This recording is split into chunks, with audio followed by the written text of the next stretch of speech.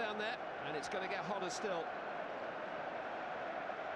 The 2009 Cup Final, the final match of the club season, just like it used to be. Alex's header falling for Steven Pienaar. Tim Cahill trying to get Leighton Baines forward. Pienaar is onside.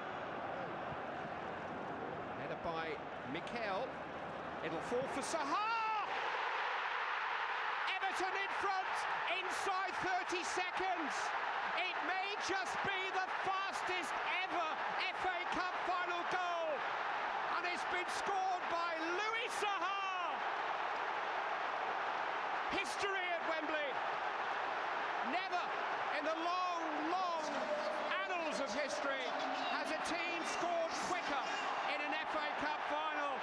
Everton in front in no time at all. In Jim all, Beglin. All the planning David Moyes will have made, he couldn't have dreamt that this would work out, not in a million years. I mean, Pienaar does well to get the ball in. Mikel playing deep in midfield, gets the header away.